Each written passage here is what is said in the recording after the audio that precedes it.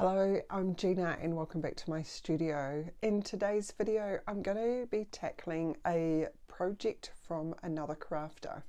And this is Bentley House Mini's filing cabinet. And uh, has just released a free printable version of it. So thank you Ara, I really appreciate that.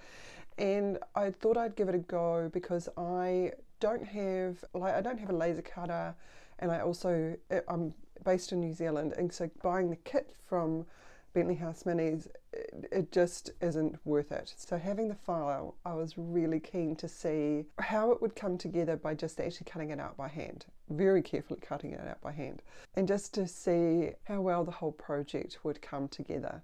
So let's get started. So to begin with, I have printed off the pattern onto some A4 paper, just as plain copy paper and I've got myself a piece of mat board. I'm transferring all the letter details into the middle pieces of each of the different pieces and then I'm going to cut them out into groups. And I'm going to use a glue stick. Uh, the glue stick that I've got is actually quite cheap and it's a bit rubbish to be honest, but it's actually perfect for this project because I do want to be able to peel this paper off the mat board at a later stage. Um, so knowing that this is um, not the best tackiest glue uh, is perfect for this project. So I'm just going to work my way around cutting out some groups of these different pattern pieces and then cutting them out of the mat board.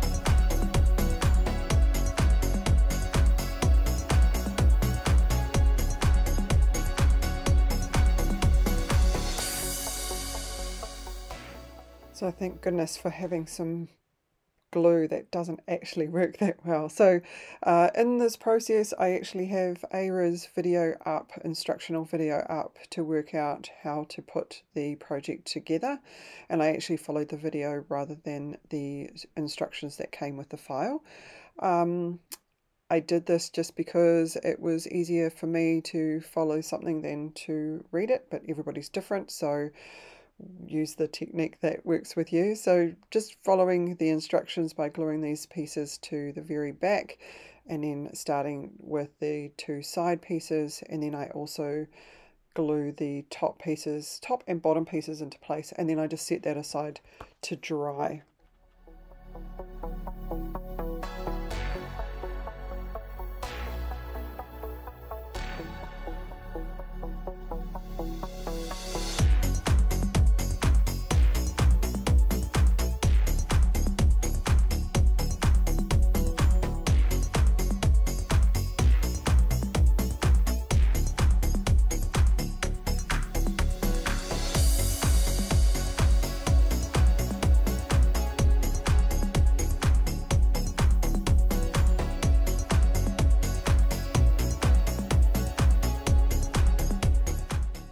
Once that glue is all dry and pretty much set up, I'm going to move on to the next step, which is putting on the front face of the cabinet. Now it's starting to really look like a filing cabinet at this point, which is fantastic. And every piece is fitting together beautifully. So all of the pattern is just so easy to use and very easy to copy and cut out. Um, so moving on to the drawers, there's two drawers that are operational, I suppose you could say, as well as two that are fixed, which just basically have the drawer fronts on the front of them. Now, at this point, I didn't realize, but I am actually gluing one side of the drawer piece upside down, which actually doesn't bother me in the end, but um, I didn't realize it until it had all glued up nicely and I'd actually kind of started to put the whole cabinet together, but never mind. Uh, so I'm just going to work my way around, gluing the two side pieces together, the back, and then following up with the front piece as well.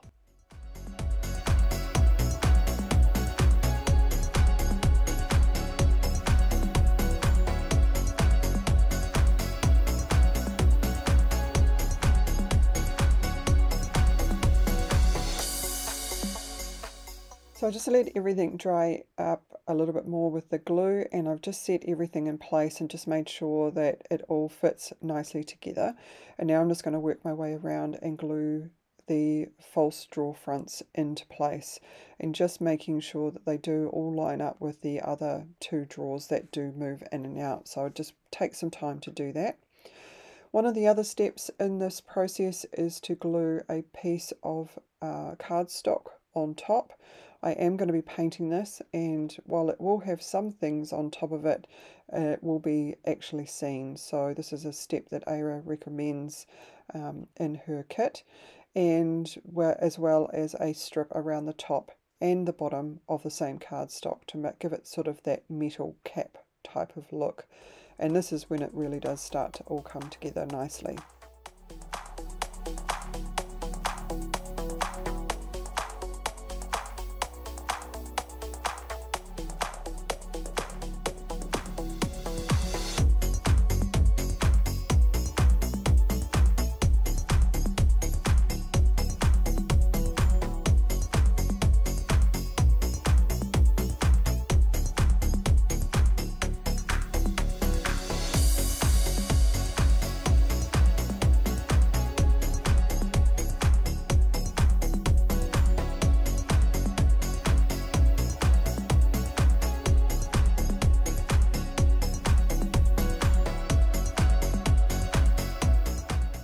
So I'm actually going to be putting this cabinet into Gomez's office in my Addams family build and so therefore I'm actually going to be painting the cabinet black.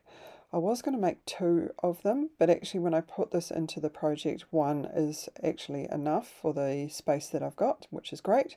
So I'm just going to work my way around and I'm going to give it two coats of black paint.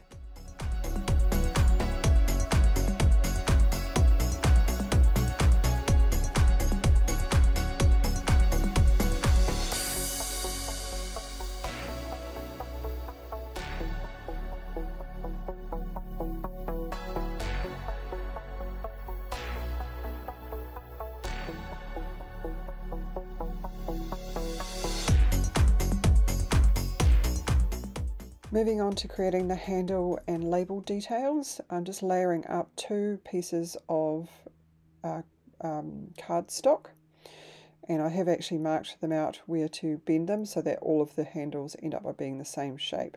So just with the two layers of cardstock glued together, the glue does soften the card ever so slightly and it just makes it a little bit easier to bend. And then just working my way, creating some sort of um, creating the handles and some plates for it to fix to the drawer. So there we go, you can kind of see it there. My fingers are in the way, but um, as I'm just trying to shape it into place. So I'm just going to do that and for the rest of the handles. For the labels, I'm actually going to use my Cricut because they are so tiny and there was, well, I probably could have cut them out by hand, but I thought, why not? Why would I if I can use my Cricut machine? So I'm just going to create some labels just using two different shapes and um, cutting out the middle piece. And then I'm going to cut that out onto the cardstock. So I'm just going to reduce the size down and cut a number of them out. They are quite thin around the edges. I guess if I probably did this again, I'd make them a little bit thicker, but they still work out perfectly fine. And then I'm just going to, yeah, just reduce these down and then cut them out.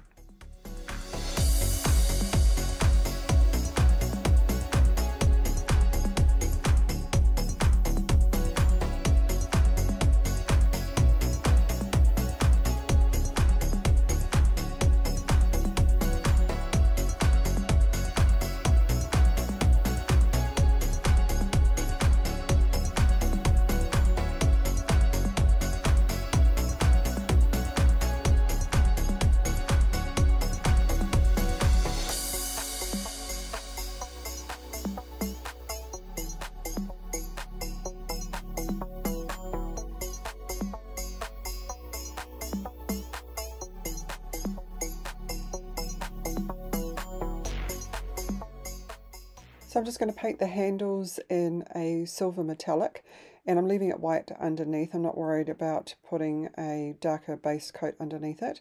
Sometimes metallics need a bit of a, a darker base coat, but I'm quite happy with just leaving it white. And I've also done the labels, uh, painted those silver as well while they've been on the mat that have just come out of the Cricut machine. And as I'm peeling this off, I can see that it's was probably a little bit thin, each one of the labels, but I did manage to get four out of the all of the ones that I created, so thank goodness I actually ended up by cutting out more than I needed. And then once I've done that, I'm just going to glue it to a piece of card and just so that it gives it a nice solid backing. And then once that's sort of set up and dried off a bit, I'm going to cut them out into, into shape.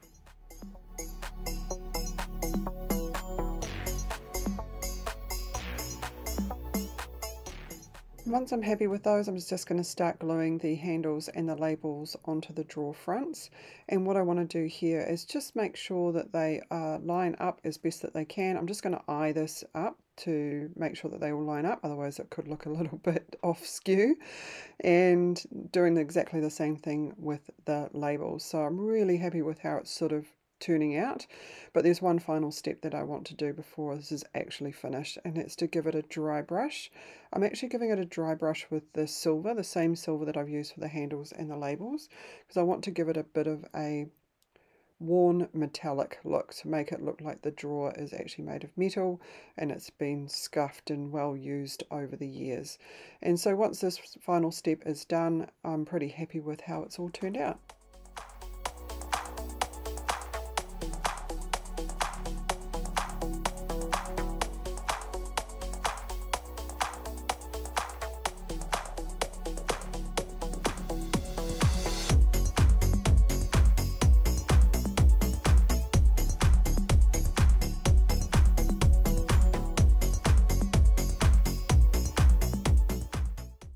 But we're not done yet.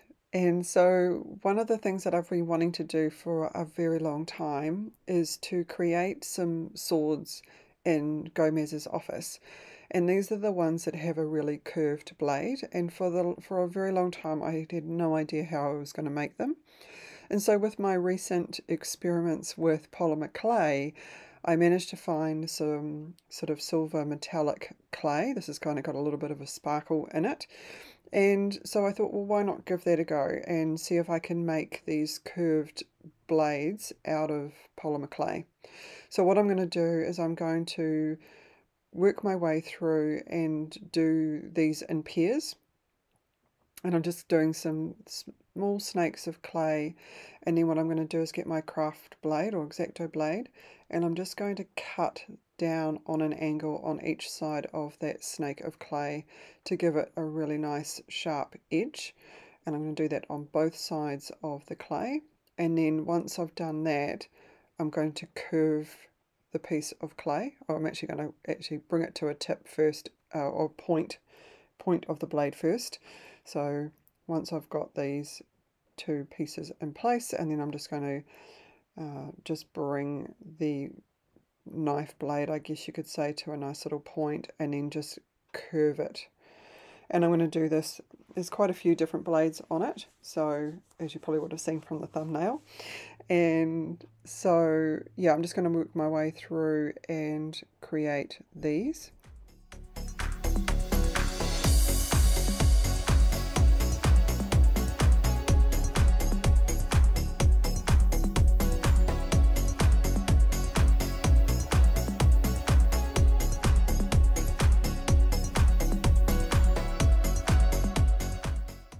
Also want to create some additional details. So my thought process here is that if I can create all the different pieces, I've got some help from our supervisor, if I can create all the different pieces um, individually, then once this is baked, I can glue them together. So I just want to create these little pieces that sort of go between the blade and the handle. Um, I'm not really too sure what they're called. Is it called a hilt? Anyway, and I've also got some brown, um, plain brown polymer clay as well. Just and I've just created some snakes of clay, and these are going, I'm going to cut these down to create the handles. So once I'm pretty happy with those, these have come out really well. I'm just going to pair these up. And then I'm going to work my way through and just cut these little snakes of clay down to size, put and glue those to the top of each one of the handles, and then also, oh sorry, each one of the blades I should say, and then also cut some of the brown clay down to create the handle and I'm going to do that on all of the different blades.